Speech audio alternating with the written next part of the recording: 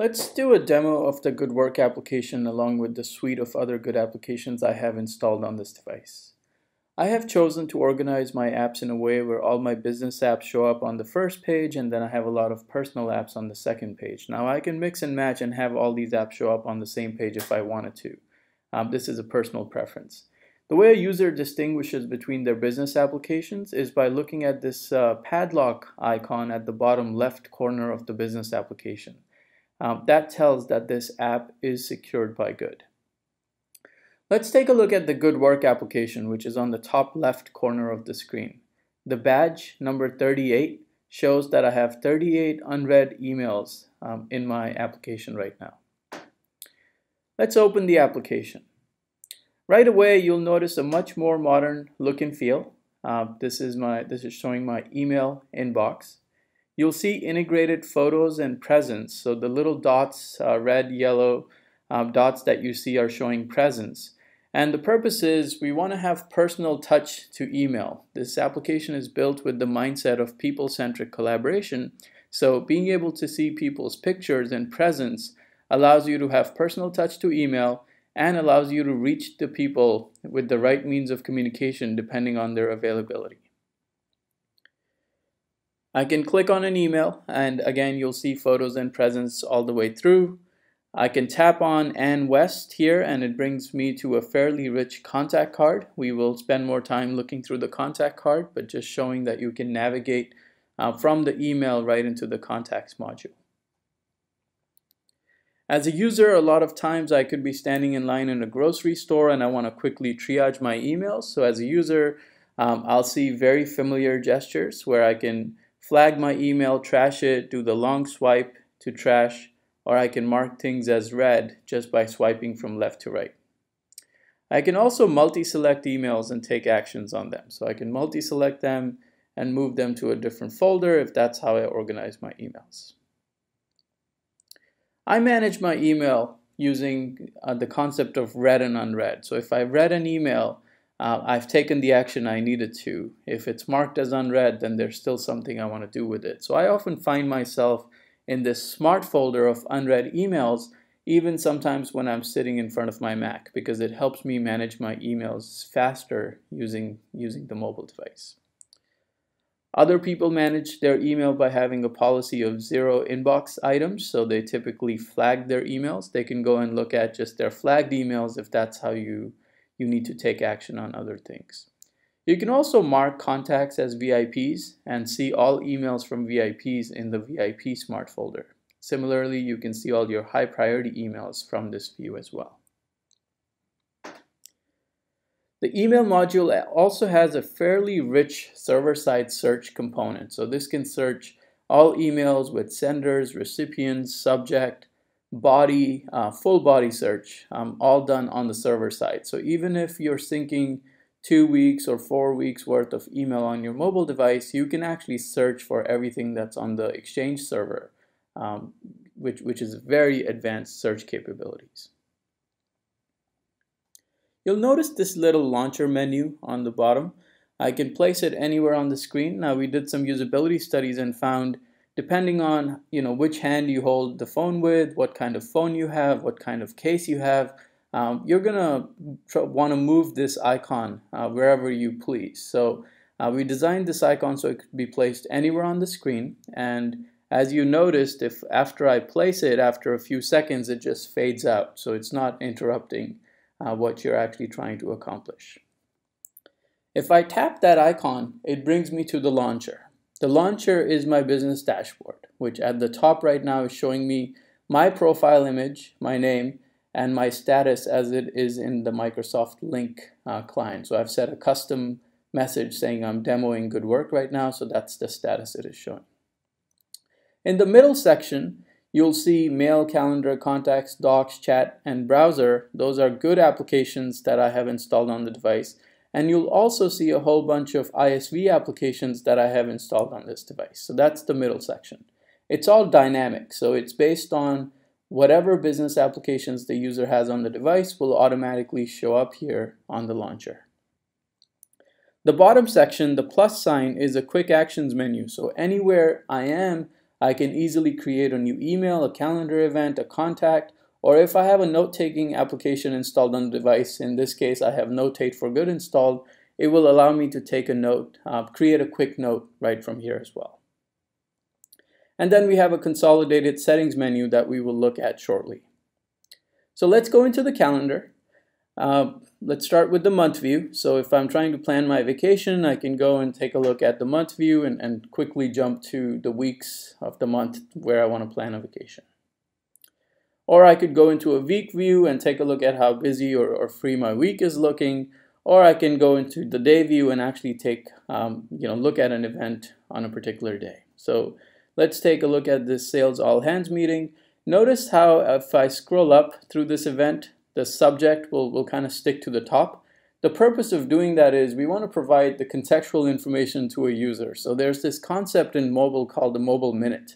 On average, a user will typically spend a minute or less interacting with their mobile device when they're trying to accomplish one particular task. So we want to make sure that we're giving them all the contextual information right when they're taking that action um, so they have everything at their fingertips as they're, as they're trying to accomplish that task.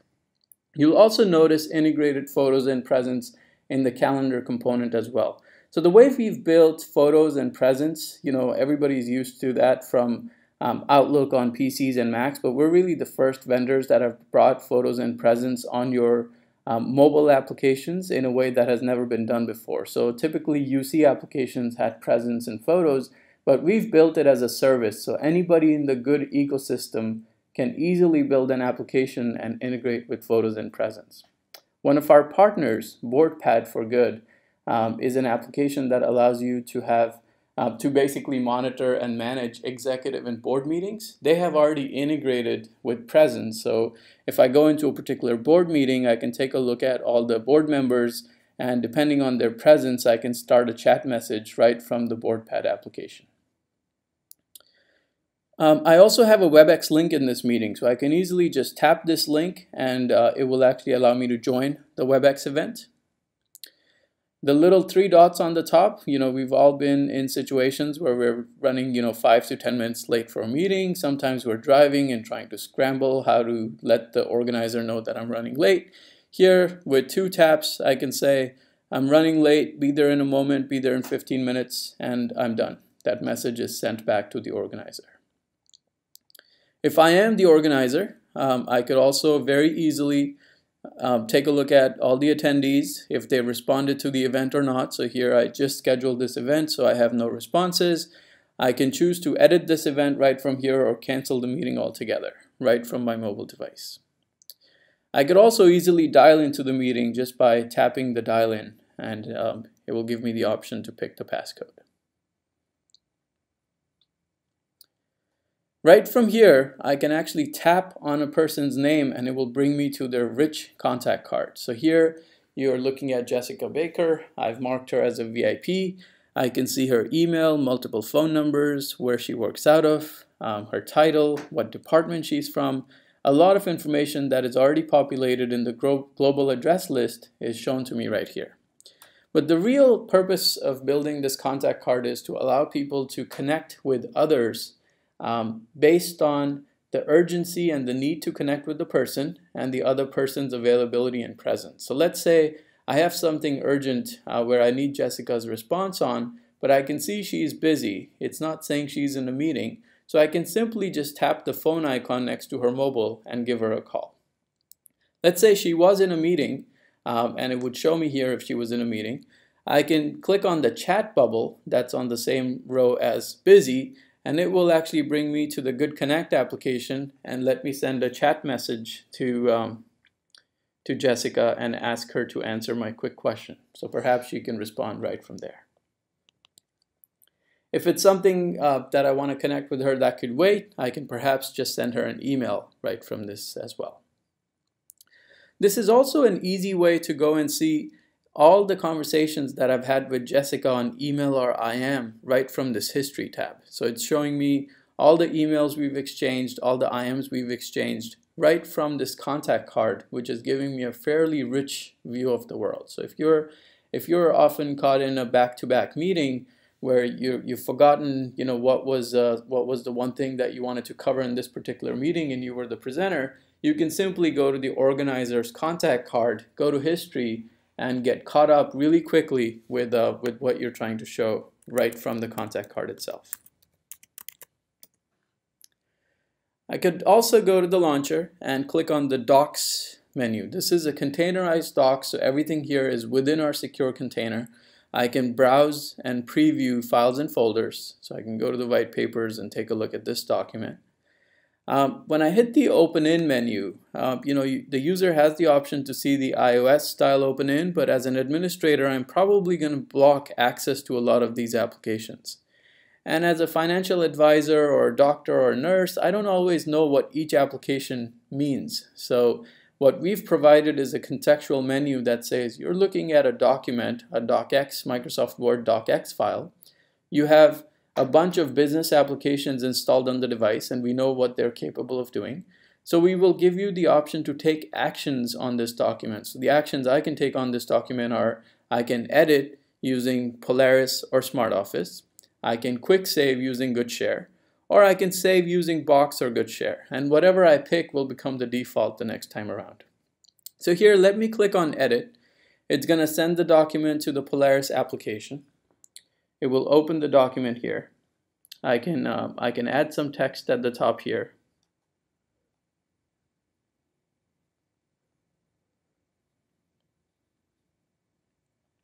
I'll just say hello test. And when I say save, it gives me the option to hit save back. So rather than saving in another container, it lets me select another location.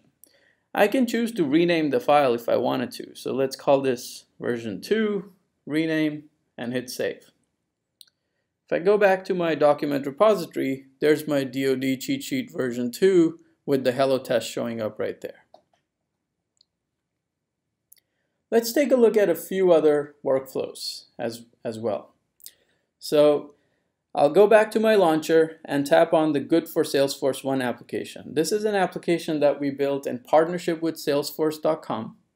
Um, this application is not authenticated, so it's asking me for my Touch ID to log in. So I'll, I'll use my fingerprint and it lets me in. If you're familiar with the Salesforce One application, the look and feel will look exactly the same as the Salesforce One app that's in the App Store from salesforce.com. What we have done is containerize this application so it benefits from all the security of a, of a good Dynamics application. Also, we have not restricted the user. So a user can click on a link and it will open in the Good Access browser. They can tap on an email address and it will send the email using the Good email application. So here I'll give you an example where we'll tap on a link and rather than opening this in Safari, it will open the link in the Good Access application. So this is a link to a file on a SharePoint um, and I can tap on the file and choose to download it. Once it's downloaded, it sends me a local notification saying the file is there.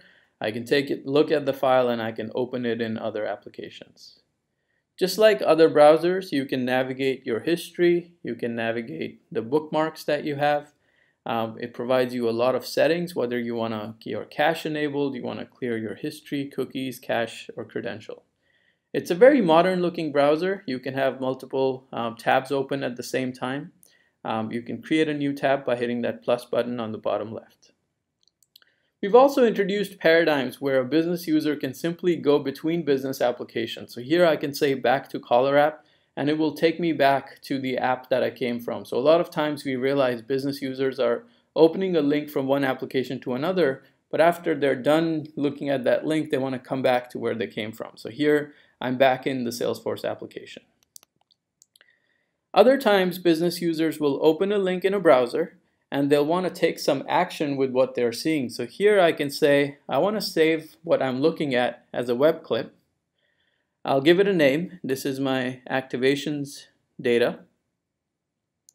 And let's say I want to take some notes around this data. So I have a note-taking application that's also protected by Good called Notate for Good. I want to open this, uh, this page in Notate. So what this will do is open the Notate application, create a new note, and I'll be able to take some notes around this particular application. So let's uh, let's say I want to use text. Let's say I want to increase the font a little bit, and uh, let's just say hello world.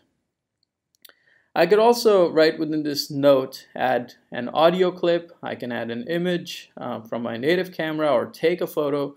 I can also go and say I want to take another web clipping right from here. All of these notes, by the way, are being saved directly with your Exchange notes. So you can go to your desktop, your PC, or your Mac, and right from Outlook Notes, you'll be able to access this. But as you can see, Notate is giving you more capabilities of adding more rich notes, uh, even though it's syncing back through Exchange.